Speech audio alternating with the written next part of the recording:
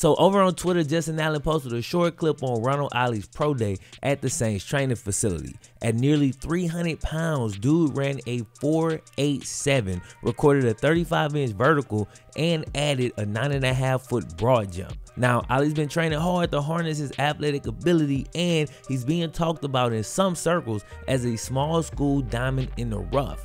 Now the draft is only a month away, so the last chance U updates are probably gonna kick up a notch. Been a little bit of a drought here. Either way, definitely wishing Ollie the best, bro. It's been dope to kind of document and follow his journey. Hope he can finish it off by getting into the league. Now, I know a bunch of y'all are waiting on the Dakota Allen video, and I'm planning on doing a full feature video on Dakota's entire journey after the draft. Okay, I want to see where he goes because he's the likely first ever Last Chance U alum from the actual show itself to get drafted. Okay, he definitely deserves a full video and he's already got one of the best last chance U stories that I outlined in a video from over like a year ago and now I can't wait to make that update after he's selected. That video will most likely drop the day after he's drafted, so definitely keep your eyes open for that. Either way, that's all the last chance U news I got for y'all right now. I'm gonna holler at y'all next time. My name is FlemLo Raps. One.